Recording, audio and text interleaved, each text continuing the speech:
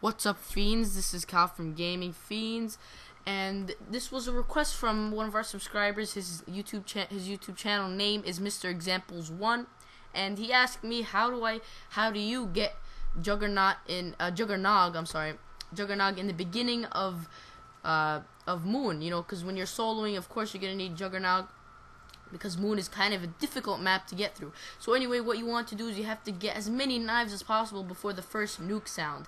Try to get from one, uh, 1300 to 1500 points uh, before the first nuke sound. And then once you hear that sound, it, the zombie strength increases. Every time you hear that sound, the zombie strength increases.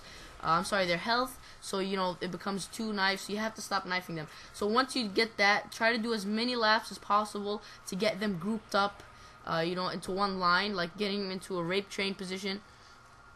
So keep running, keep running around, and then by by around two or three laps, you should be able to do it. You throw a frag off this fence, and then they all run over it, and you get. You look how many points I got right there. That was a, quite a lot of points.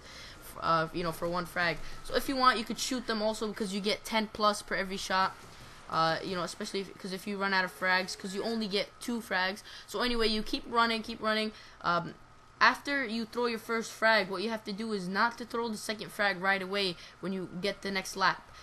Get, do a, you know one or two more laps before you throw your next frag, uh, because sometimes you know when you kill all those people, all those zombies with your frag, you're not gonna have enough. You know. Uh, you're not gonna have enough points, and uh, you have to wait until more zombies group up so you can get even more points with one frag.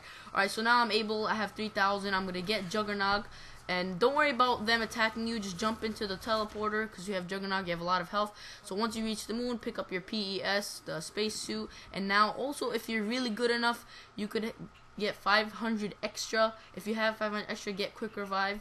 Uh, but I wouldn't recommend doing this with four people. Uh, because it's kind of difficult, you know. Sometimes the zombies lay astray; they go and follow the other the other players, um, you know. And we tried doing that, so I tried doing that before, but it didn't work out, and uh, because the zombies kept going astray. So, you know, this is a guide. Thanks for watching, guys. Remember to subscribe, like the video, and uh, share it if you, you know, tell your friends about it if any of them don't know how to get Jug on that first Endless Wave. Uh, thanks for watching. Peace.